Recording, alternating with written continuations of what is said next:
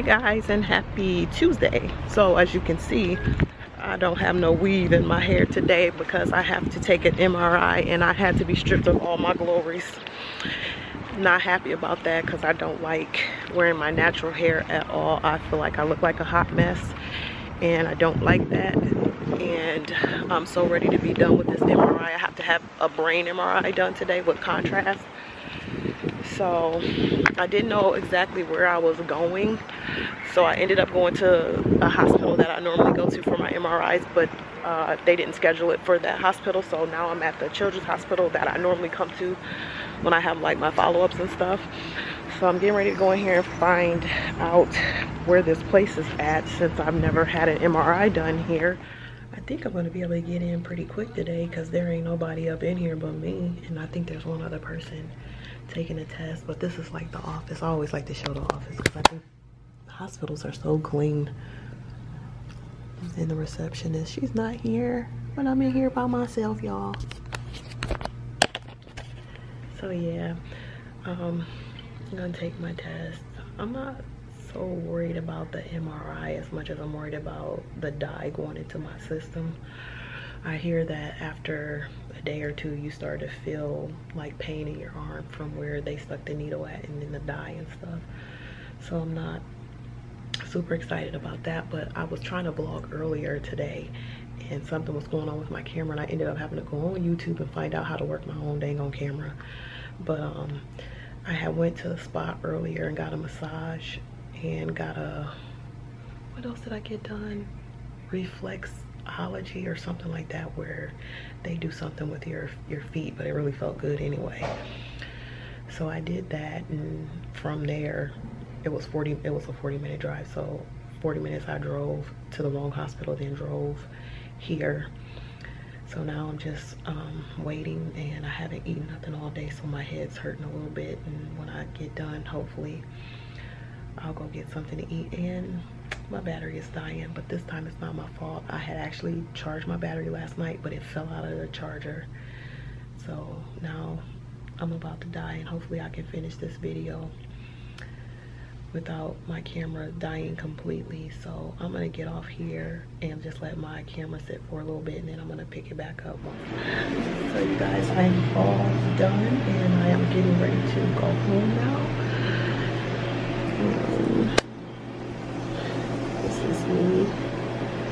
all done. And I had to get stuck two times. Because she couldn't. So I'm getting ready to get dressed and I will finish up this video once I get home because like I said the battery is dying. But overall it wasn't a bad experience. I've had an MRI done before just not with the contrast. So I'll tell you guys how all that went in just a little bit. Okay guys. So I was waiting for my camera to charge i ended up taking myself a nap which it had nothing to do with the mri process or anything like that. I was just tired and wanted to take a nap. So i'm going to tell you guys how the initial mri went over today for me.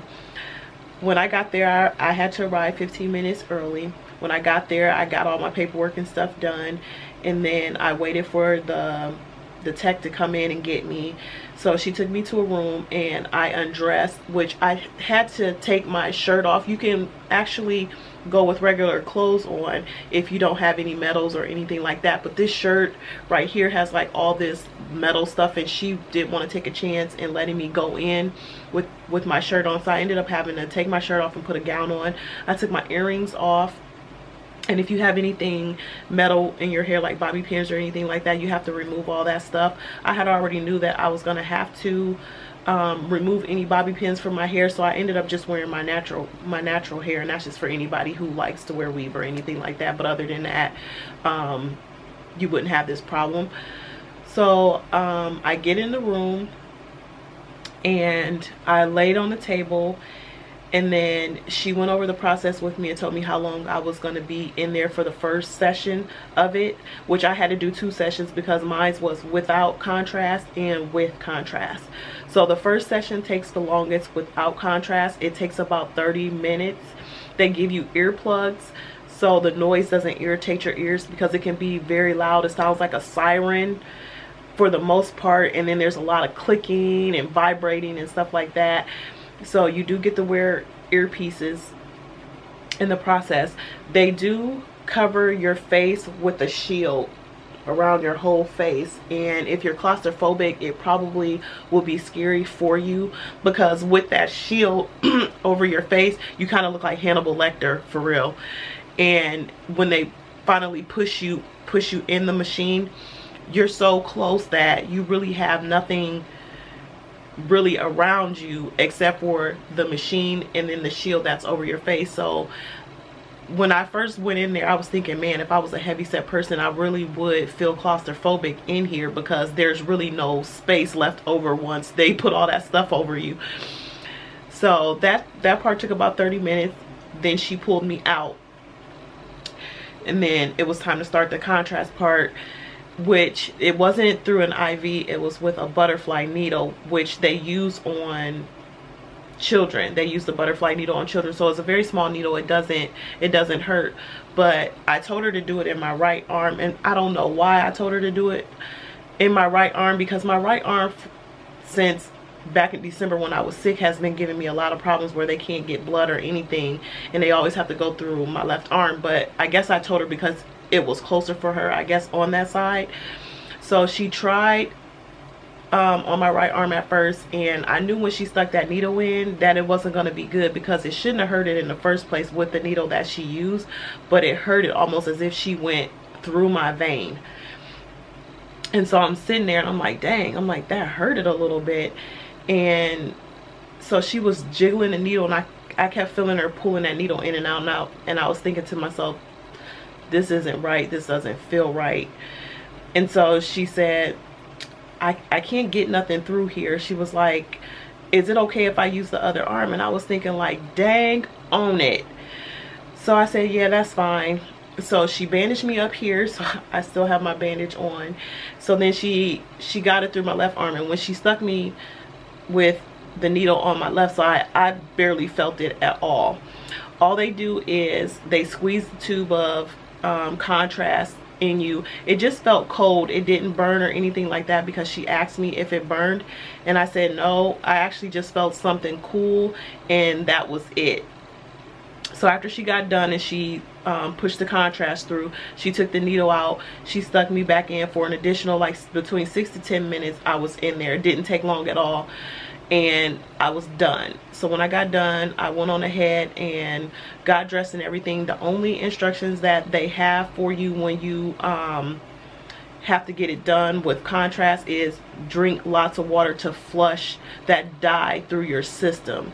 So I drunk, I had a bottle of water in my car, so I drank a bottle of water um, in my car on my way home and I actually didn't need anybody to go with me. I thought I might need somebody to go with me because I didn't know how um, I was going to feel after the fact but I was fine. I was cool to drive myself home. I got myself something to eat and I came home, I ate, I drank some more water and then I took a nap and then I got up.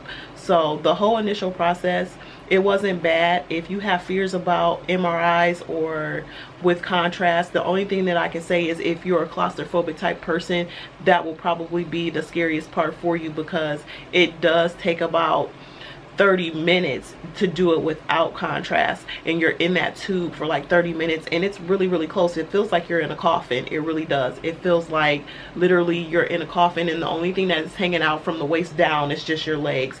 But they do give you um, a button to push if you have like any questions or if you're starting to get nervous or whatever they have like a button you can push and then they'll pull you right out if you can't go through can't go through with it.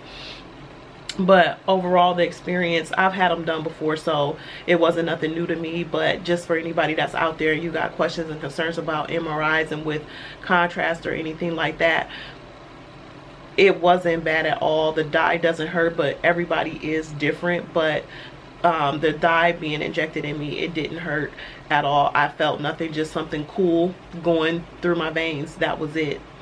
So um, I just wanted to give you guys uh, my experience on how I went through my MRI process today and I'm feeling pretty pretty cool outside of having to get stuck two times. This is the only one that actually kind of still bothers me a little bit because like I said she didn't stick me right at all and I could feel that and I knew that when she first stuck that needle in my arm. With it being as small as it was it shouldn't have felt like it felt.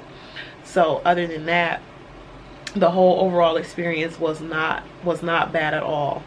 Um, I really feel like anybody can actually get through this process and and be okay with it so i just want to thank you guys for stopping in on my channel. You have a great day and if you're not a subscriber go ahead and hit subscribe below so you can get more videos in the future. And i will see you guys on another video real soon. All right loves i'm out